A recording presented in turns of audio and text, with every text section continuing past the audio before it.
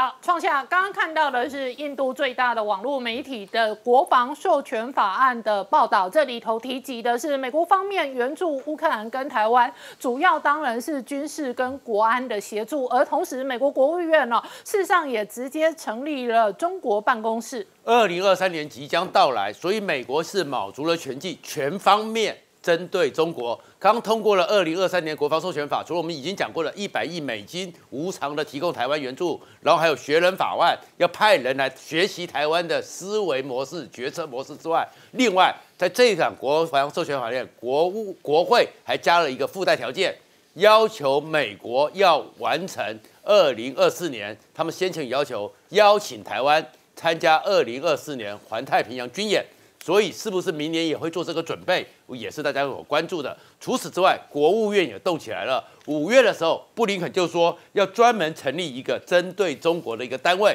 现在要正式成立了，简称中国所。它的全名其实是叫做中国协调办公室，要把国务院下面所属的各部门的中国专家要去处理跟中国有关的国际安全、经济、科技，还有。战略外交所有的相关的事情，通通要纳进去，由一个统一的办公室，大家来协调，做一个统一的步调。而主其事者会是亚太驻星华志强。甚至这里面呢，到目前为止也有一件事情是看出美国的态度比较特殊的，或是一贯的，就是关于台湾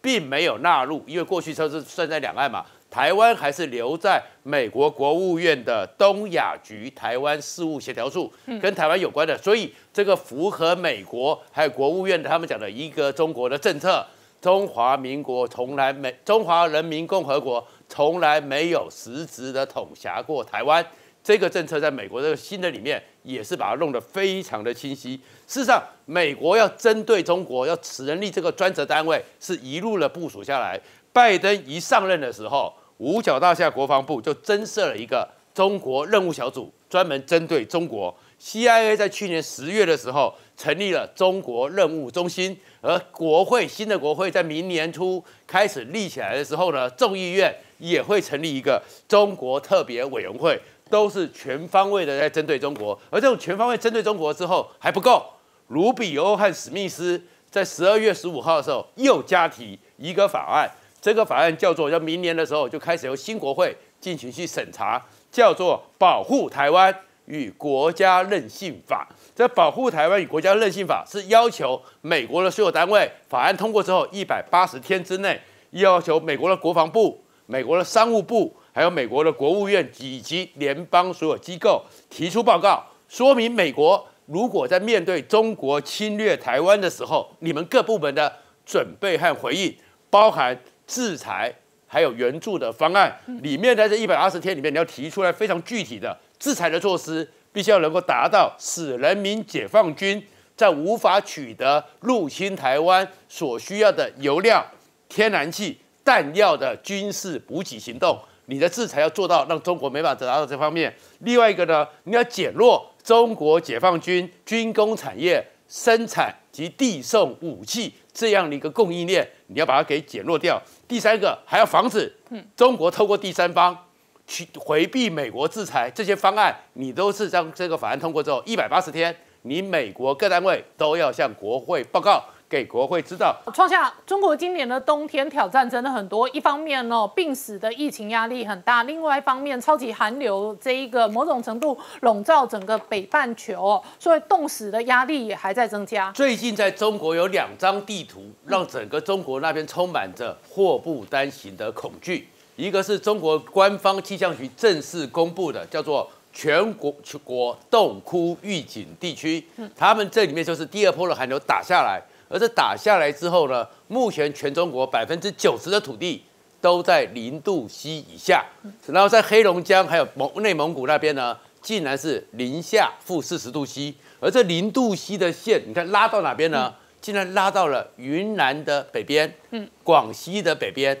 广东甚至福建的西边，所以整个全国都全中国都是冷的要死。人冷的要死，有多少人会冻死，都很麻烦。那另外一个地图呢，是疫情，因为冷的时候病毒会更凶。对。但是官方的资讯他们也不信任，所以这个呢是开始其实我们有很多台商的朋友，或在大陆上都在传，那个是大陆的一些大数据专家，根据官方的资料，还有在百度去搜寻大陆上各种传出来的，用 AI 大数据做出来的预测。目前中国因为你现在突然解封了，然后在准备工作不好，根据全世界欧米孔的一个惯例，第一波预测感染高峰期，你会看到全中国几乎都全踩，然后一路下去呢。到最后春节是这第一波这个高峰期才会过，所以他们现在跨年是跨不了了，然后春节也过不了了，内心充满恐惧。而这个恐惧里面，他们最愤怒的就是官方，因为北京到现在为止，他们开始了直接在网络上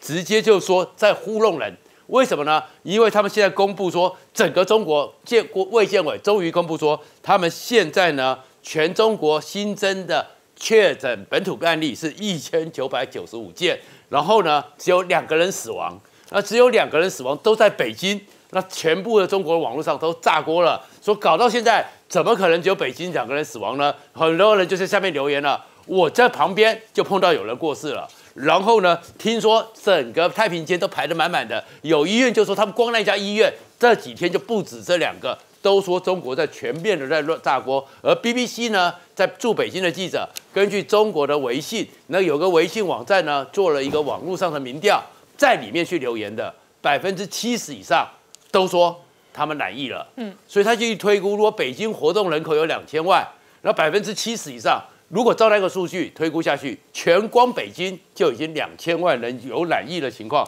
而且呢，大家最担心什么？最危险的是老年人和弱势族群，因为没有药物，也没有打疫苗，现在该怎么办？而路透社也报告，盖茨基金会透过很多各地方的独立的模型小组，加上 O B 孔的一个数据去推估，如果照刚刚讲的，这只是第一波，嗯，接着会持续下去。中国的整个疫情的峰期达到最高峰的时候，会拖到明年四月。嗯，而在四月那个时候，峰最高的时候，可能死亡人数也会有三十二万两千多人。所以整个中国，而且英国推估，中国疫情要整个开始往下压平，是三分之一的中国人都染疫，那就是五亿多了。